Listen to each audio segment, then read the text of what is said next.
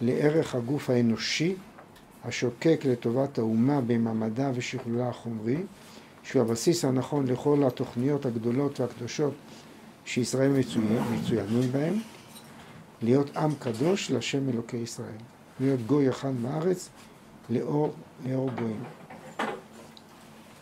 מהצד השני, עצם הכוח לשכלול הרוחניות בעצמה,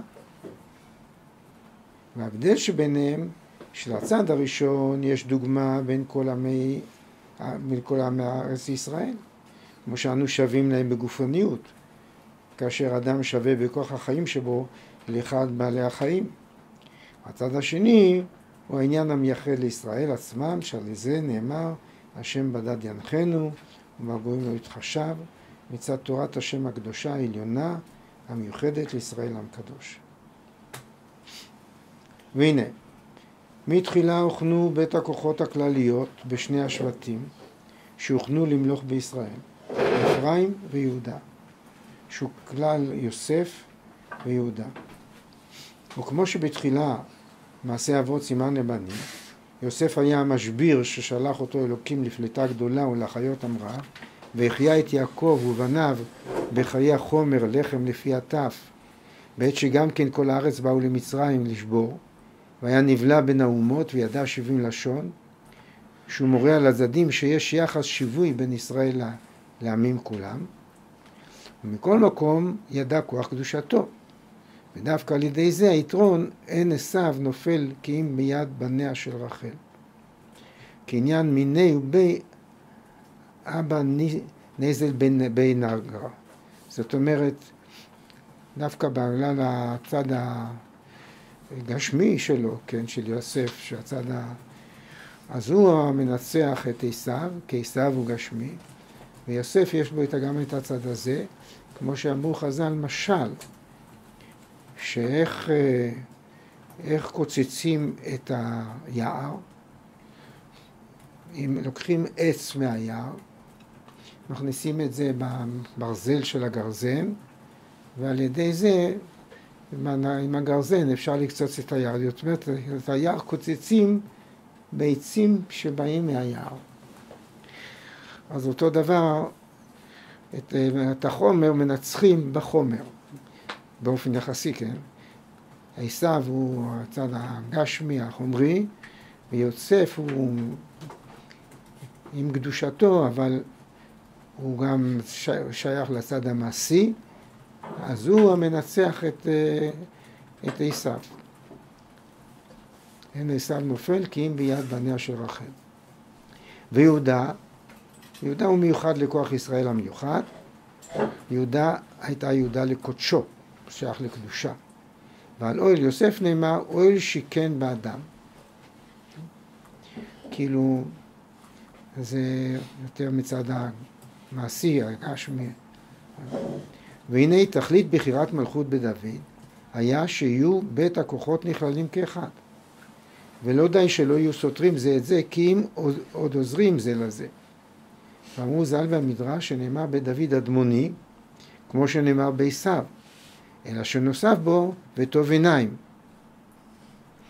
ומידת סנהדרין הורג.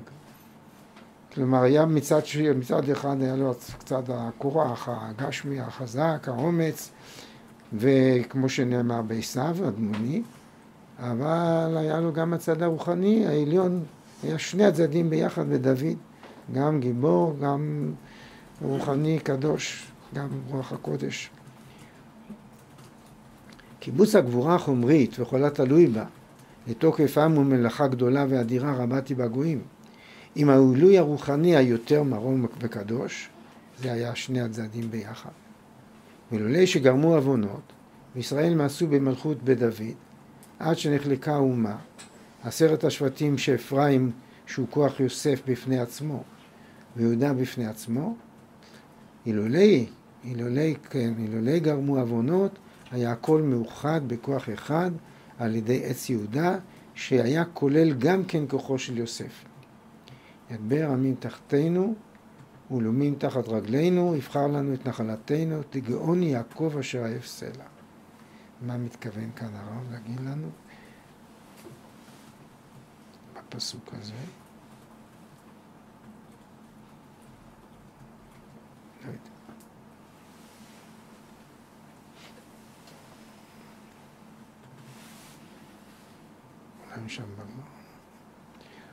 ועל ידי הקיבוץ בית הכוחות היחדיו היו שני מתעלים.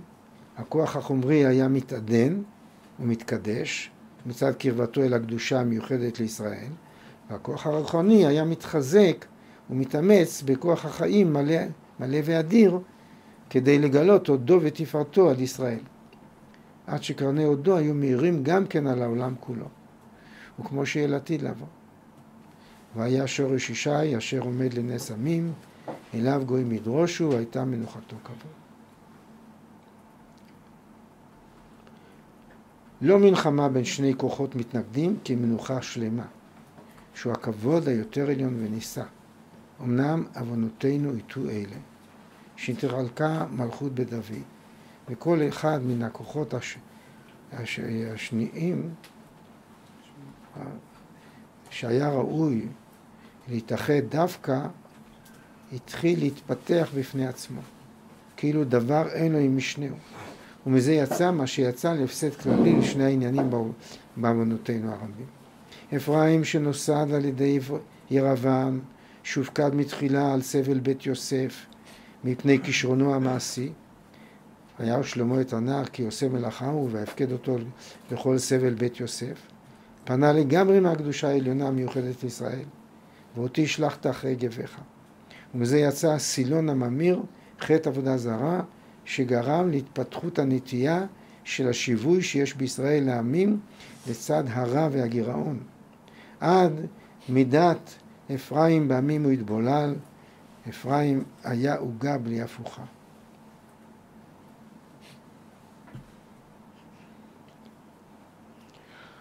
זה ויהודה בחיסור לו, בחיסור לו הצד המעודדו בחומריותו, היה צריך להשלמה רוחנית גדולה ואדירה, שתספיק להמציא גם כן את הצד החסר החומרי. וכיוון שלא עלה למעלה, למעלה זו, נתבזבז הכוח הרוחני גם כן, עד שלא החזיק מעמד וכשל גם יהודה עמם. ולשונם ומעלליהם אל השם למרות עיני כבודו. והנה, גם אחרי הפירוד, אם היו על כל פנים מתאחדים לדעת שכל אחד יסגל לו את נטייתו הפרטית, אבל באופן שיקבלו זה מזה את הצדדים הטובים, ויהודה יקבל מאפרים את הדרכים והנטיות המוכשרות שבו לשכלול האומה בתוקף חומריותה ואנושיותה הכללית, ואפרים יקבל מיהודה את הכוח העליון המיוחד לישראל בדרכי הקדושה, מתורה, מידות קדושות, והכשרה לנבואה ורוח הקודש למיוחדים לזה. היה המחץ הולך ומתרפא. אלא שכיוון שנחלקו חילוק ממלכה, ועל ידי השפעה מאחדת, הלא הדבר מחויב שהצד הגובר יהיה לו המצב העליון.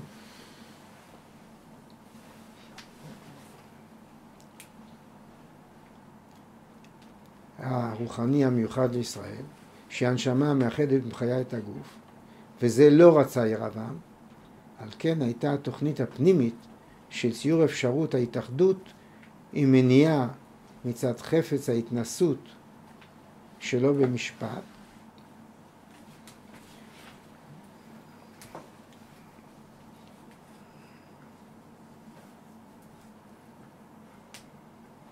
כלומר, הוא מסביר, ירבעם לא רצה להתאחד בגלל אה, הגאווה, לא רצה ירבעם כי על ידי האפשרות של התאחדות עם המניעה מצד החפץ, מצד הגאווה שבו, ש, שלא במשפט, מה שאמרו חז"ל, שתפסו הקדוש ברוך הוא לירבעם בבגדו, ואמר לו חזור בך, ואני ואתה ובן ישי נטייל בגן עדן. יחדיו תשכללו את האומה הישראלית להביאה לתכליתה, להיות לעם השם אלוקי ישראל, להיות גם כן ראויה להיות אור גויים, שהצדדים השווים לכל אדם אשר על פני אדמה גם כן ראויים להיכנס בבניין. אבל ירבעם שאל, מי בראש? אמנם על שאלת מי בראש, מוכרחת התשובה לבוא בין, אפרי, בין ישי בראש. כי בלעדי הכרת השליטה העליונה של הצד הרוחני, כי חלק השם עמו, יעקב חבל נחלתו, אז אפסה כל תעודה לישראל חלילה. והנם המעט מכל העמים, וראויים יותר מכולם להרס וכיליון חלילה. אבל שרירות הלב גרמה שאמרה, יהי הכי לא בעינה. אם זה דוד בראש, לא רוצה. ומזה נמשכה שלשלת של טעותיהם של ישראל ופיזורם, ותכלית מירוק הגלות עד עת, עת קץ. על כן עומד בכל משך זמן הגלות המצב הכללי של האומה בדרך ניגודי של אלה שני הכוחות. שלפעמים מתגלה הנטייה לחוזק הלאומי החומרי ויתר הצרכים האנושיים הכוללים שנובע בעיקרו מיסוד הנטייה המיוחדת ליוסף ואפרים ולפעמים מתנערת הנטייה הרוחנית לקיומה של תורה והפרחת הצד הרוחני המיוחד לישראל להרים קרן בירת השם ואהבתו באהבתה של תורה ודרכיה ובאשר כמו פולה ובוקע בארץ זה והפסוק איפה זה באיוב? באיזה מקום זה? בתהילים? בשמואל? כמו פולח ובוקע מארץ נפזרו עצמינו לפי שאול, כן?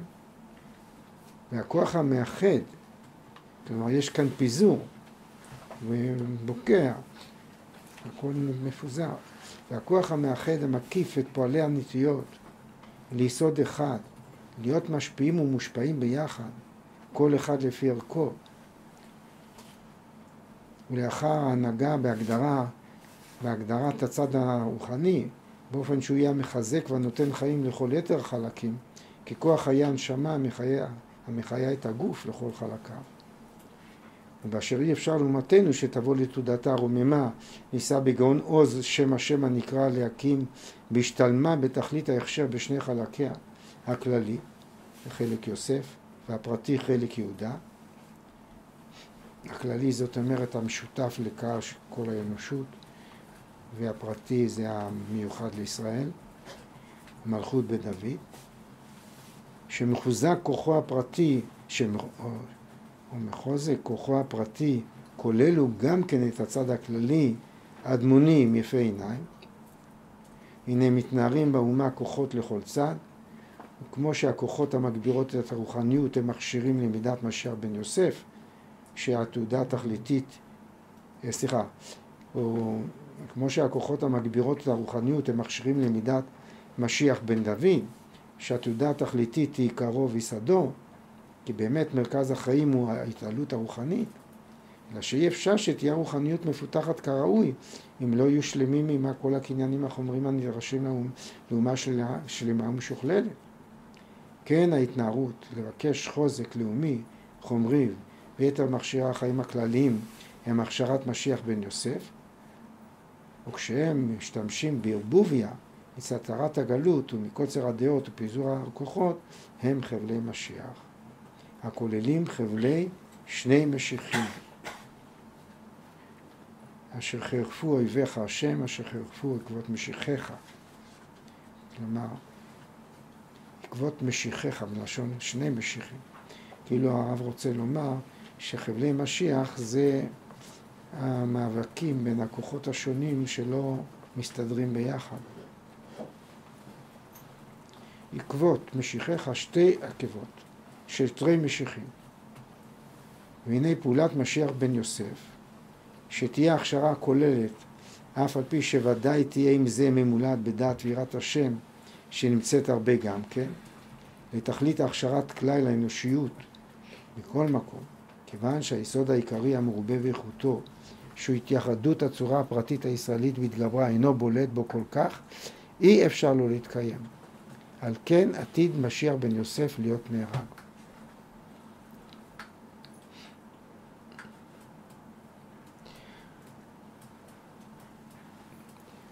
אמנם כשיהרג יכירו הכל העיוות, שאומנם לא היה דור ראוי להכיר הערך של הנטייה לתגבורת כוללת איך לקבל ממנה רק הטוב ואת הטוב באמת לקבל ולשעבדה לתוקף הצד העליון שבתעודת ישראל למשיכות משיכות בן דוד וספדו עליו כמספד על היחיד להמר עליו כהמר על הבכור.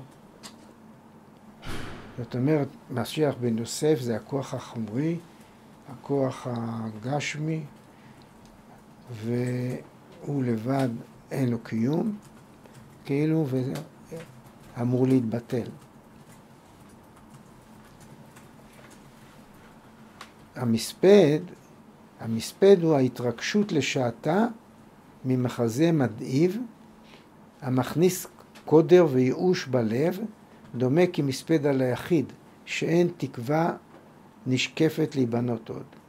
כמו הורים זקנים שאיבדו את בנם יחידם, לא עלינו. זאת אומרת, זה יהיה, סוג המספד הזה יהיה כמספד כזה שקרה כאן אה, צרה שאין לה תיקון. אז, אבל הרב מגדיר איזה התרגשות לשעתה. אמנם המרירות היא באה כבר בסיוע השכל המתבונן את ערך המצב, השכל ישכיל, כי אמנם כוח האומה בכללה מוציא מכללה נשמת משיחים. על כן, אמנם במריאות אבידת הבכור המזדמן לרוב אצל הורים צעירים שלא חונכו בדעת גידול בנים, מחוסרון ההכרה לא שמרום כראוי ממחלה, ועל כן מתו. כלומר, יש כאילו מצב כזה, ש... שלפעמים, הרבה פעמים, כאילו הרב אומר, הבכור, הוא נפגע, הוא מת, כי לא יודעים הרי לטפל בו נכון, אין להם ניסיון. על... ככה זה היה פעם, אולי. אז כן האומה מתבוננת כי לא הכירה את ערך הנטייה של ההשתלמות הכללית, איך להשתמש בה בתור דבר גדול המצטרף ומסתעף ליסוד התכלית העליון שעמו הייתה התעודה הלאומית מתמלאת, וממילא אתה זוכה לקיום והצלחה של הפרחה. הנה כל זה שמדמה מפני הפירוד השורר בגלות, שבית הכוחות הם באמת נפרדים זה מזה. עד שמי שנחלץ והגביר את הצד הכללי באומה נעשה בעוונותינו הרבים צר ואויב לתורה ולקיום המצוות וכל דרכי הקדושה המיוחדים לסגולת ישראל הפרטית. וכן מי ששם מגמתו ליסוד ההתייחדות הישראלית נעשה על ידי זה עצמו מנגד ומפריע לכל תיקון חומרי כללי שעל ידי זה מעבר מזה נעשה פרצים ומעבר מזה מתגלה חולשה ועצבות ודיכות לב. אמנם אחרי הניסיון האחרון שסיבת מניעת הקיום של משיח בן יוסף התבוננו הכל שבאמת אין כאן כוחות מתנגדות ושראוי להכניס הכל בחוברת אחת ולסדר דרכי האומה באופן שכל שכלול כללי יהיה בסיס לשכלול הישראלי המיוחד. הרב יודע, הרב הוא איש ספרות. כל הדברים האלה, אם מישהו היה כותב אותם, היה כותב את זה בעשר שורות. יש שני כוחות, כוח גשמי, כוח רוחני, מתנגדים זה לזה, וזה השלמות היא כששני הכוחות הם ביחד, ואם יש פירוד ביניהם, אף כוח הוא לא מצליח, ו... וזה השאיפה העתידית שהתחברו הכוחות ביחד, את יוסף ואת אפרים. אבל הרב מפרט את הדבר הזה, איך קורה, ונותן לזה הסברה יותר מרחיבה, אה, כאילו אנחנו פוגשים במציאות, שגם משפחה שגדלה, אז לפעמים בהתחלה יש כישלונות, ורק אחר כך מצליחים באמת לעשות את הטיפול הנכון. אז זה מין תהליך כזה ש... שצריך לעבור אותו כדי להגיע אל התיקון השלם. אז על כל פנים, העיקר הדגשה של הרב, ש... השלמות היא לא רק בחלק אחד. ברור שלא בחלק הגשמי, אבל, אבל גם לא לחשוב שבחלק הרוחני לבד אפשר להסתפק וזה מצב של שלמות, שה... אלא צריכים גוף ונשמה של האומה. וכל שהגוף יהיה יותר גדול, יותר איתן, יותר מושלם, אז כך גם הנשמה תוכל להופיע ביתר שלמות וביתר גודל. הרב, מה זה אומר שמשיח בן יוסף אה, ייהרג? Mm. שהחומריות... אה, אה, באופן רעיוני, ההכרה שמזה לבד אי אפשר, אין לזה קיום.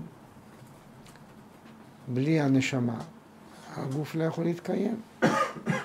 זה אומר עזיבה של החומריות? מה? זה אומר עזיבה של החומריות? או... לא, זה אומר הבנה שהחומריות לבד לא יכולה להתקיים, והיא חייבת ל- להיות הבסיס לרוחניות.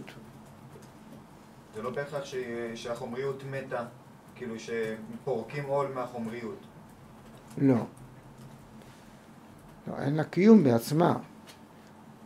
וצריך, היא צריכה את החיבור שלה לרוחניות. הרב, כשהרב מדבר על מניעת הקיום של משיח בן יוסף, הוא מתכוון לפטירה של הרצל שהייתה? מה? כשהרב מדבר על הניסיון האחרון של מניעת הקיום של משיח בן יוסף, הוא מתכוון לפטירה של הרצל? לרמה.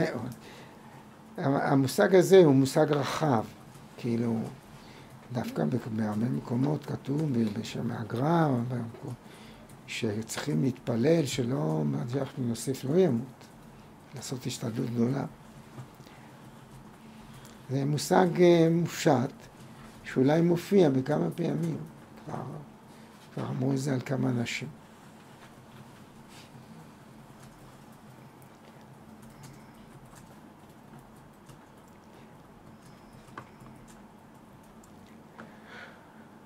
אז אם כן,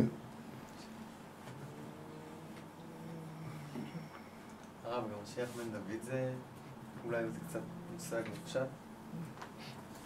האם, האם זה אדם? אנחנו חושבים שכן, בסוף יהיה מלכות בדוד, כן.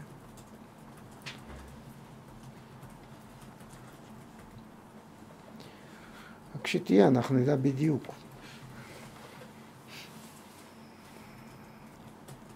הרעיון שלו, של משיח, ושמשיח זה מושג, מושג רחב, אבל זה גם אה, כפשוטו, לא רק אה, משהו כללי.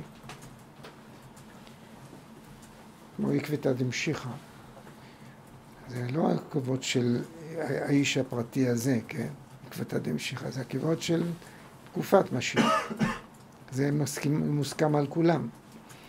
אז אה, זה מושג רחב, כל, כל התקופה, דור של גאולה של משיח.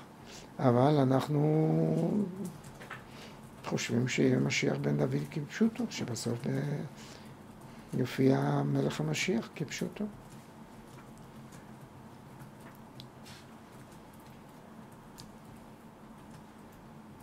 אז אם כן הוא אומר לנו, אז מתברר שאי אפשר בלי לוותר על אף כוח. אמנם אחרי הניסיון האחרון של סיבת מניעת הקיום של משיח ביוסף, יבינו, כלומר, שאין קיום למשיח בן יוסף, יתבוננו הכל שבאמת אין כאן כוחות מתנגדות, ושראוי להכניס הכל בחוברת אחת, ולסדר דרכי האומה באופן שכל שכלול כללי יהיה בסיס לשכלול הישראלי המיוחד. כללי, תמיד כללי זה מה שאנושי, כללי. הוא יהיה בסיס לשכלול הישראלי המיוחד, כלומר דרכם, דרך התורה, הקודש, ותהיה הכרה בחסרון ההצטרפות משני הצדדים, בין מן הנוטים אחרי החומריות והכלליות, בין מהנוטים אחרי הרוחניות והפרטיות. על כן, כלומר כשיבוא ההכרה הזאת, על כן יהיה מספד גדול מבית צדדים, שיכירו שיש טעות ביסוד הנטיות שהן בנויות להיות מתאחדים, וכל כך גרמו הקלקולים ביטאותם לפירוד, לחבל איש מעשה רעהו. כלומר, כל, לא רק הצד הגשמי כאילו יהיה נאבד ו, ויספידו אותו, אלא שני הצדדים, כי כל צד צריך את הצד השני. והנה התכונה של חיבת הלאומיות, החיבה הלאומית, נתגלתה באחיו, שחיבב מאוד את ישראל, ואחז מעשה אבותיו עמרי, שהוסיף עיר אחת בארץ ישראל, ודורשי רשומות אמרו, כולם באים לחיי עולם הבא. לי גלעד זה אחיו שנפל בגלעד, שהיה מעמיד פנים במלחמה, כלומר הוא היה אמיץ, גם אחרי שנחתו בה חיצים, כדי שלא להביט את ישראל, אומץ רוח כזה בא מאהבה יתרה ונפלאה, גם כיבד את התורה, חז"ל אומרים לנו, מפני שעל כל פנים כבוד האומה, על כל פנים כלפי חוץ, לפני בן הדד, כן? לא רצה לפגוע בתורה, וזה היה בכל זאת צד, צד אה, מעלה של אחיו. ועם כל זה, לא הכיר ערכה של תורה וקדושת השם יתברך המיוחדת שבה, שבה כל יתרונם של ישראל. ועל כן הלך בדרכי איזבל ובחוקות התועבות של גויי הארץ, לפי המידה שהייתה שולטת אז ברוח הזמן. זה אחיו.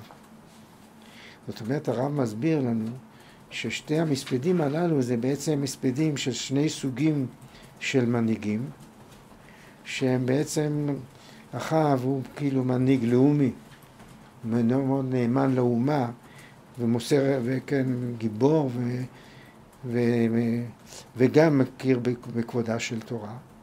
בעצם כל עבודת האלילים שהייתה באותה תקופה, היא לא הייתה כפירה בריבונו של עולם. היא הייתה גם וגם. זה מה שאליהו אומר, שלא לסלוח על, על שני הסעיפים.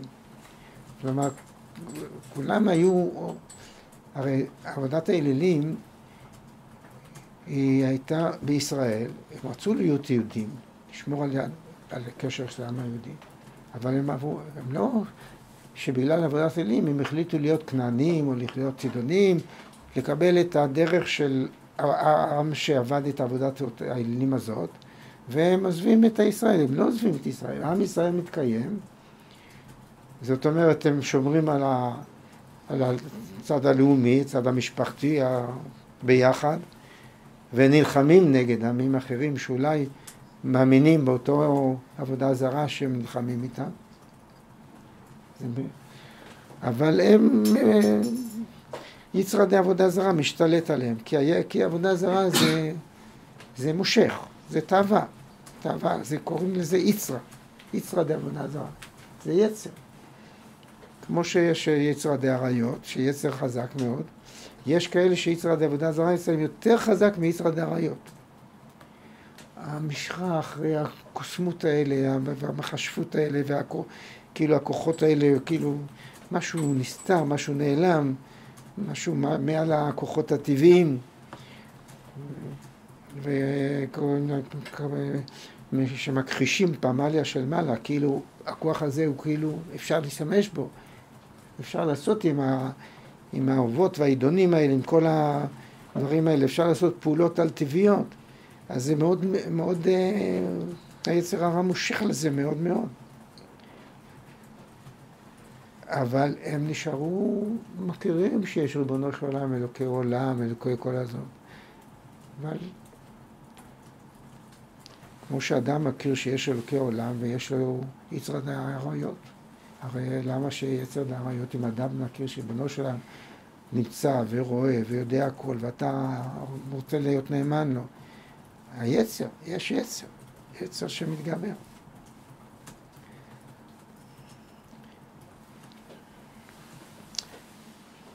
אז על כל פנים, אחאב מייצג, אז עכשיו הרב מסביר לנו את המאמר הזה העמוק של חז"ל שאמרו לנו, פירשו את הפסוק, שנתן בן עוזיאל פירש את הפסוק, ביום ההוא יגדל המספד בירושלים כמספד הדרתרימון בבקעת מגידון.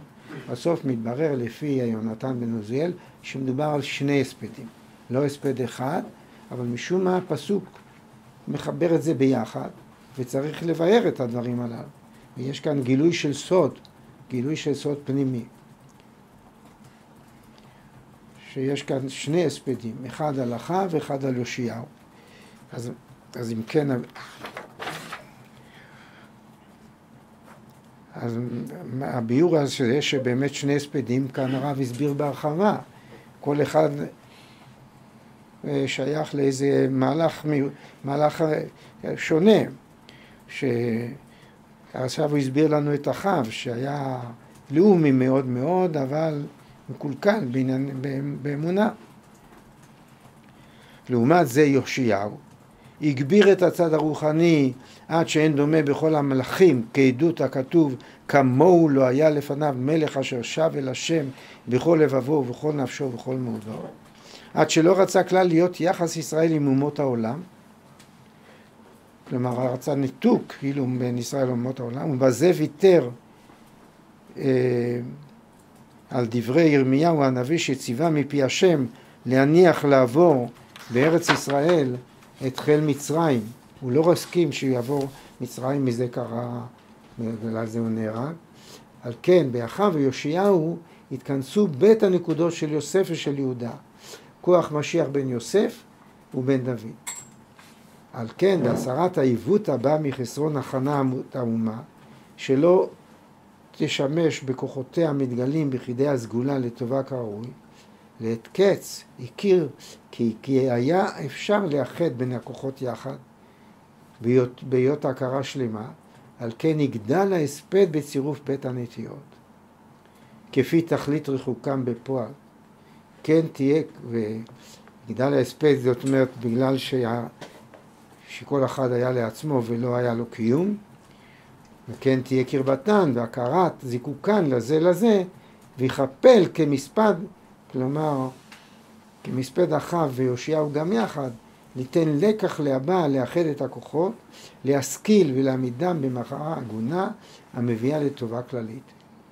והנה באמת, כל זמן הפירוד, שהאומה אינה מוכשרת לאחד הכוחות, וכל אחד מחליש את חברו, ההנהגה הולכת שאין כל נפש מסוגלת לקבל כי אם נטייה אחת.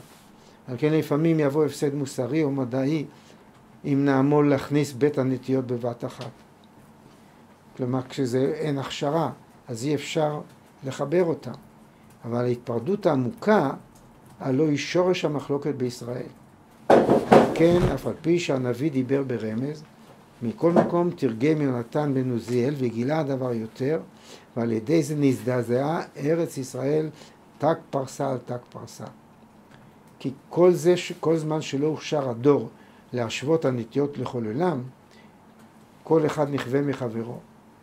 ומכל מקום התחזק יונתן בן עוזיאל ואמר, גלוי וידוע לפניך שלא לכבודי ולא לכבוד, אה, מה זה אמר? לכבוד ביתי, לכבוד בית אבא, עשיתי כל, כי אם שלא ירבה מחלוקות בישראל.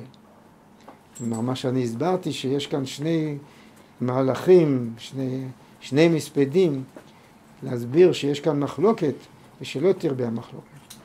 והפתח השכלי יכשיר הדעות לבקש עצות איך ללכת בעקבות שתי ההכנות ששתיהן מחוצות. אז זאת אומרת, מה היה כאן זעזוע ומה רצה יונתן בן עוזיאל? כאילו אומר הרב שהזעזוע היה שהוא רצה לחבר כשעדיין לא בשלה השעה, ואז את, כשאתה מחבר את שני הדברים שמנוגדים זה לזה, אז כל אחד אה, הורס את השני, מקלקל השני, והניסיון הזה הוא לא יצלח. אז, ו... אז, אז מה שרצה יונתן בזה לעשות, זה בעצם היה טרם עת, מוקדם. אבל, אבל לא הייתה כוונה טובה, כי הוא כן רצה שיגיעו לשלמות הגדולה, ואז יתחברו גם שני הכוחות, וזה יהיה המצב המתוקן.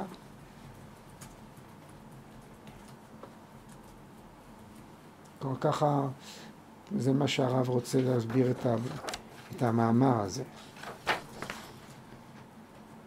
כלומר, יש הקושייה, כמו שהרב אמר בהתחלה. מה קרה שהוא הוא הסביר את זה, איזה סוד כמוס קדמה, איזה רעיון נסתר ש... שנזדעזעה ארץ ישראל. ומה היה מזעזע? ומה היה הכוונה של נתן בן עוזיאל, שבכל זאת הוא גילה? אם זה דבר מזעזע, אז לא היה צריך לגלר. הוא התכוון לטובה, אבל המצב לא היה בשל, ולכן החיבור הזה הוא מסוכן. ו- ופחד, אם יבוא עכשיו חיבור כזה, זה יהיה, יהרוס את שני הצדדים. זה ככה אני מבין את דברי הרב.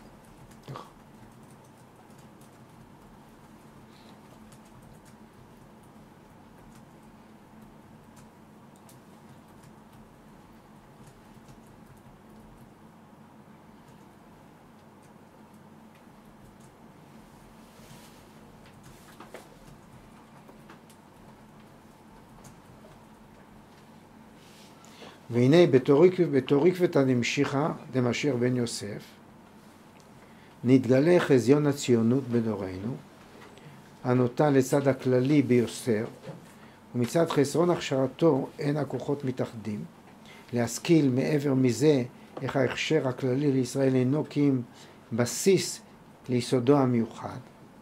ועל כן צריך שתהיה הנהגה מכוונת לתכלית ההתעלות המיוחדת ולהיות מושפעת הרבה מהסגולה של יחידי הדור, צדיקים וחכמי התורה.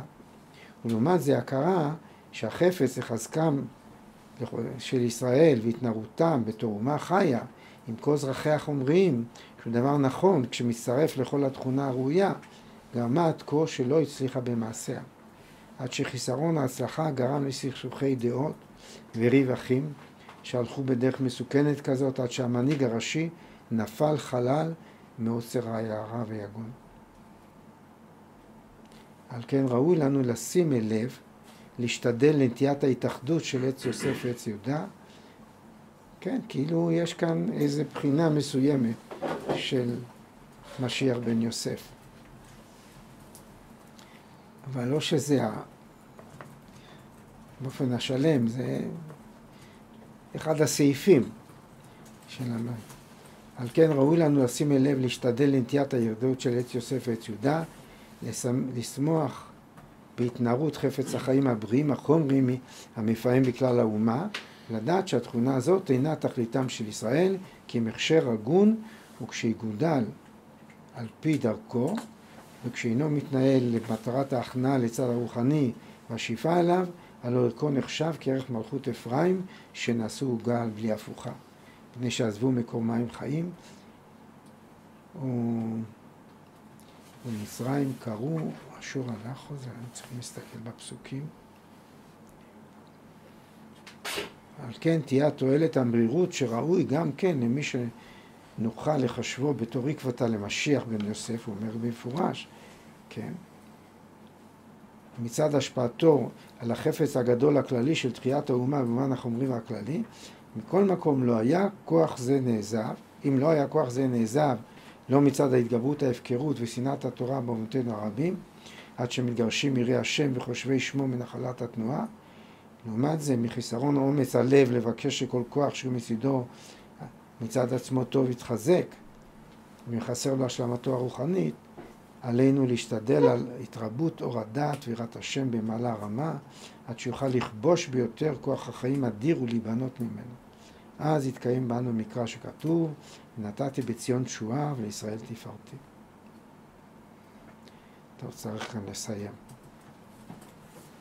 הרעיון הכללי היה מובן, אבל היה לנו כאן עוד צורך להשלמה. ככה לעשות איזה סיכום.